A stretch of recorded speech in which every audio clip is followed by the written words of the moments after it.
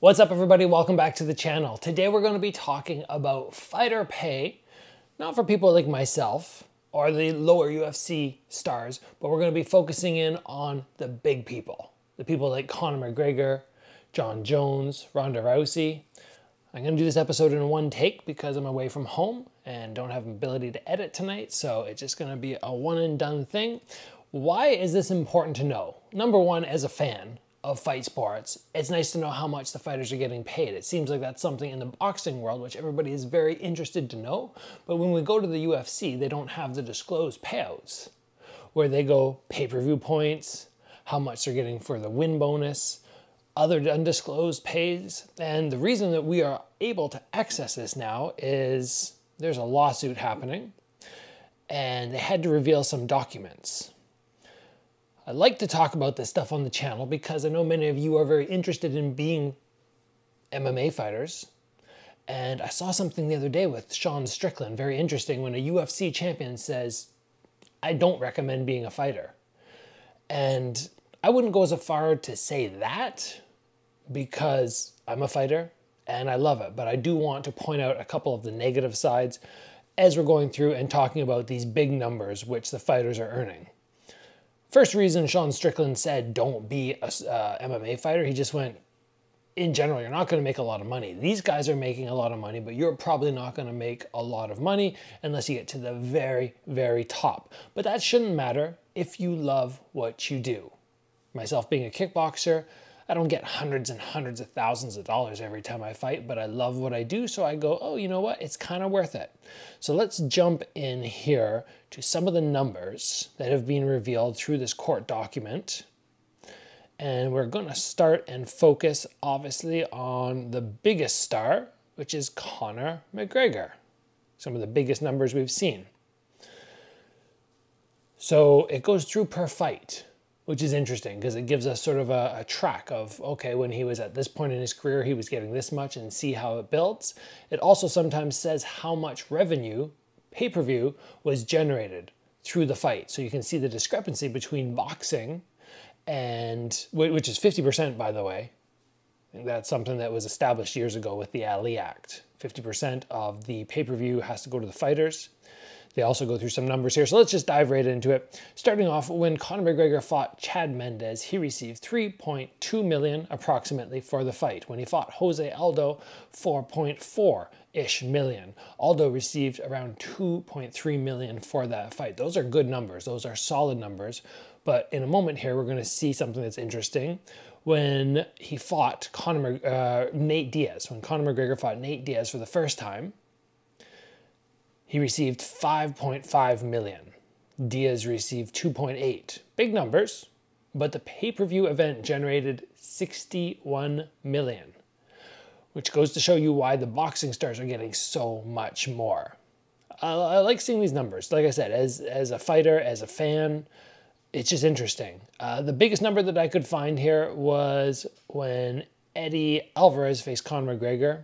McGregor got 6.8 million for that. That's a lot of darn money. This is interesting stuff because years ago I heard people talking about how much GSP was getting. This was, you know, you didn't have access to this type of information. And people were saying, oh, he's getting like 500,000 or a million. And somebody that I knew who was behind the scenes in the fight world was saying, no, no, he's getting more like five. So we do hear occasionally fighters getting a lower pay. Why do they do this? Why would UFC want you to think that they're getting less money? Because they face a lot of criticism from people underpaying their fighters. I can tell you why that is. If you're curious, you can stick around. Simply because if you have fighter A and they're a fairly big star, and let's say they're getting 100 grand a fight, and then fighter B comes along, they're not a star, and they're going, oh, I want 100 grand per fight. They go, no, no, fighter A is getting this much, you're down here. So then they can all of a sudden say, no, you're worth more like 30 or 40. But even though fighter A might be getting 500 grand, after all is said and done, they want those initial numbers which you hear to be lower so the other fighters recognize that as, oh, okay, I'm not worth as much as that, I'll take a lower amount. Let's look at some of the numbers which Ronda Rousey did because she was a big star back in the day, obviously the biggest female star that uh, we've ever seen in the UFC.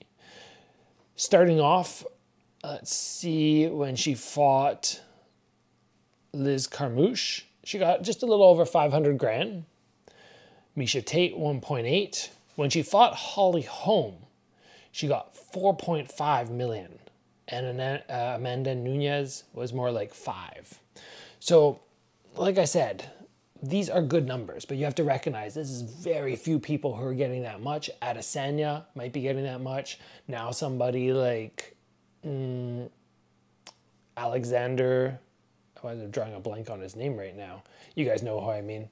The uh, UFC featherweight champ, Volk, Volkanovski you have these few stars who are getting that much, but we have to recognize that it's few and far between. If you can become a star like that, that's great. You're getting the pay per view points. Obviously, you're getting a bunch of money from endorsements and sponsorships. Remember though that these numbers, when you hear somebody, oh, they got 4 million, they might be giving away 10% to managers, they might be giving 10% to their trainers, they might have other things like taxes and such. So it's not going to be as big as that at the end of the day, but still good money but not when you compare it to boxing. Anyway, this was interesting stuff for me. Just I'm out of, you know, I'm not back in Victoria right now. I wanted to make an episode for you guys. Don't want to forget about you. And I was reading about this and went, yeah, let's let's chat about this because now you know when you see your favorite fighter, if they're one of those big superstars, they might be getting somewhere between two, three, four, five, maybe even a little more for these big fights. Sounds pretty good to me. It's nice to know that your favorite fighters are getting paid a decent amount of money because these guys put their heart and soul into the fight world. It's hard on the body. I'm right now just sporting a whole bunch of injuries, one on my elbow, which is just killing me right now. I can hardly get my, my shirt on. So when you go through that type of pain, it is nice occasionally to have some financial rewards. And if you're in the UFC and you can become a star, that's great if you're willing to just go into the fight world and not worry about how much you make, that's probably the smartest thing because the chance of accomplishing big money is very small.